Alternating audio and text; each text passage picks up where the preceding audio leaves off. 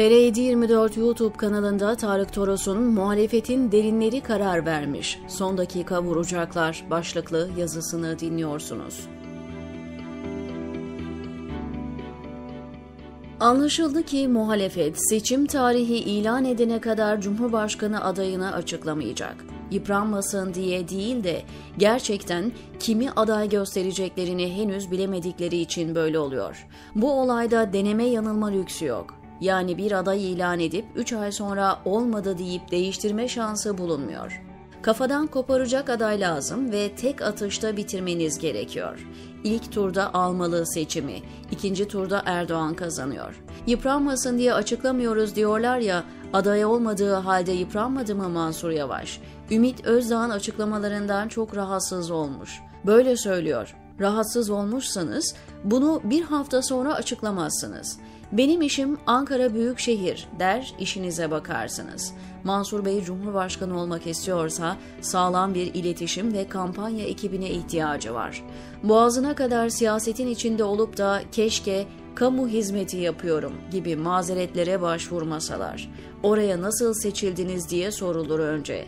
Biraz kitabın ortasından yazıyor olabilirim. Kimseyi aşağı çekmek, düşmanlık etmek gibi derdim yok. Ama soralım yani. Ekrem İmamoğlu Türkiye'yi iyi ve düzgün yönetebileceği sinyallerini İstanbul örneğiyle verebilmiş midir mesela? Orası bir pilot bölge. Orada başarılı olması beklenir ki insanlar ülke idaresi için önünü açsınlar. Dönelim tekrar adaylık meselesine.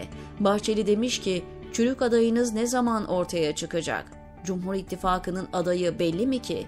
Bir ön kabul ve Bahçeli'nin lafları dışında bir şey yok.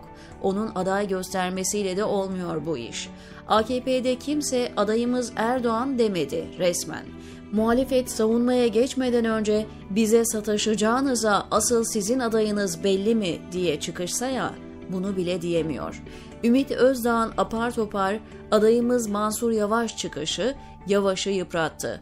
İmamoğlu ve Kılıçdaroğlu hemen her gün saray medyasında hırpalanıyor. Bir de Akşener var. Başka aday yok. Bu gidişle olacağı da benzemiyor. Birine karar verip yol almak gerekiyor. Ortaya çıktı ki muhalefetin derinlerinde son ana kadar adayı açıklamama stratejisi var. Bu liderler bazında da genel kabul görmüş bir durum. O yüzden bunu kabullenelim ve öyle bakalım. Gel gelelim vardır bir bildikleri diyemiyorum diyor Tarık Toros TR724'deki köşesinde.